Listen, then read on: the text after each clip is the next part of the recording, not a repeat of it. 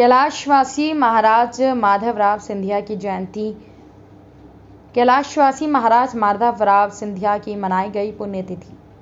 प्रधानमंत्री नरेंद्र मोदी के जन्म दिवस के उपलक्ष्य में किया गया पौधारोपण। गरीब बस्ती और अस्पताल खनियाधाना में फल वितरित कर मनाया कार्यक्रम। 30 सितंबर को कैलाशवासी महाराज माधवराव सिंधिया की पुण्यतिथि के अवसर पर राजमहल खनियाधाना में कुंवर कौशलेंद्र प्रताप सिंह ने पुण्यतिथि के एक कार्यक्रम का आयोजन किया। इसमें सिंधिया फ्रेंड्स क्लब के ब्लॉक अध्यक्ष श्री तारा सिंह यादव और भाजपा मंडल खनियाधाना के मंडल अध्यक्ष सत्य प्रकाश भरदेलिया अपने अन्य साथियों और भाजपा कार्यकर्ताओं के साथ उपस्थित रहे। इस अवसर पर वरिष्ठ भाजपा नेता हर्ष त्रिपाठी ने उद्बोधन के माध्यम से श्रीमद महाराज माधवराव सिंधिया के जीवन पर प्रकाश डाला।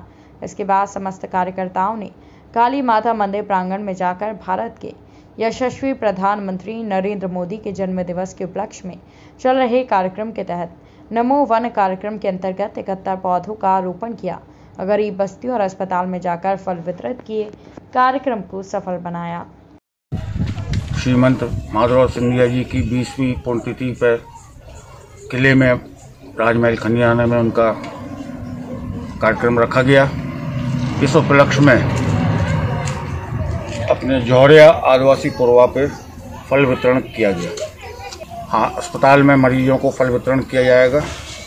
माननीय यशस्वी नरेंद्र मोदी जी के जन्मदिन के उपलक्ष्य में ये नमो वन का कार्यक्रम हरियाणा में चाड़ू माता मंदिर पर रखा गया है।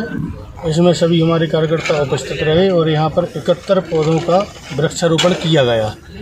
और ये प्रोग्राम सेवा और समर्पण भाव के तहत किया गया। ये माननीय प्रधानमंत्री जी के जन्मदिन के उपलक्ष्य में किया गया।